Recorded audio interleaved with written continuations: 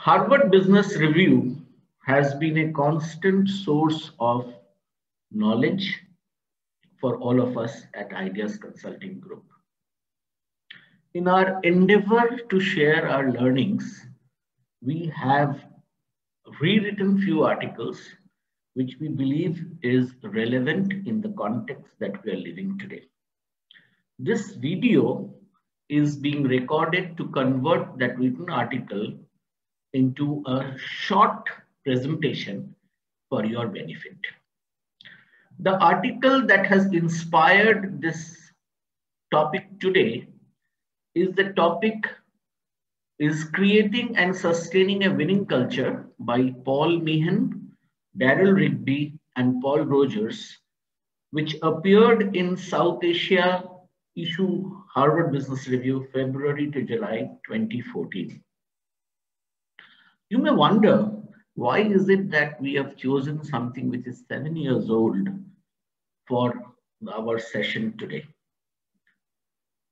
Pandemic and the virus has proven that few organizations have been able to survive and emerge stronger where the people in the organization have been more aligned to what the organization does or in other words, where people have a culture or the organization has been able to build a culture which is a culture of excellence and a culture which is a winning culture.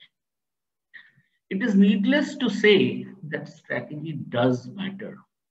However, if the culture is not about executing the strategy as it is intended to be, it will never succeed the research done by the executives of Bain and Company revealed that 91%, which is 9 out of 10 senior executives felt who, were, who responded to their research that organization culture was as important as business strategy for an organization to succeed.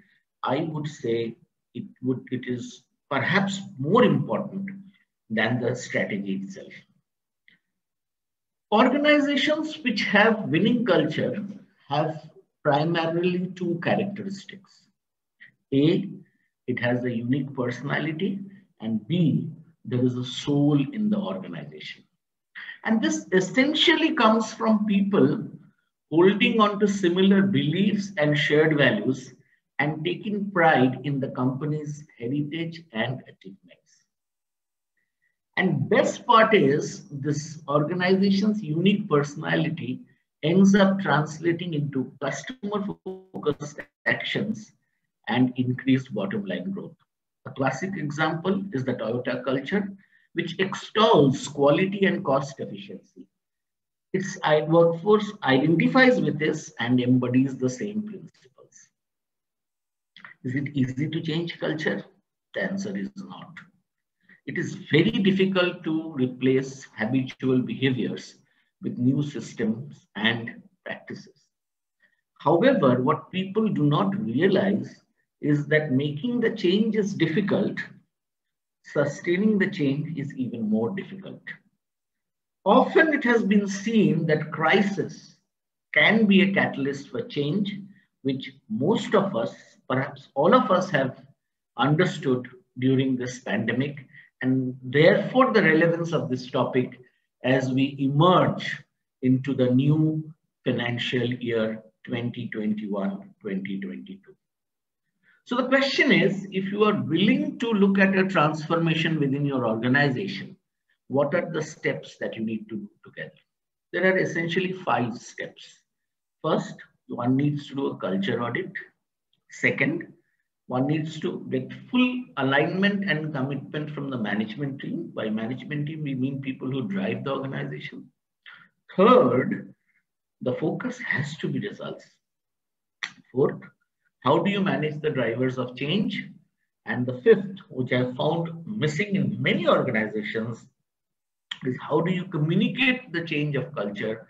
And once you have achieved milestones, how does one celebrate to energize the people of the organization to do more. Culture audit is very simple. Where do we stand in terms of our culture? And one needs to be brutally honest in this audit to understand what are the strengths, what are the areas of improvement or shortcomings, and what could perhaps be missing.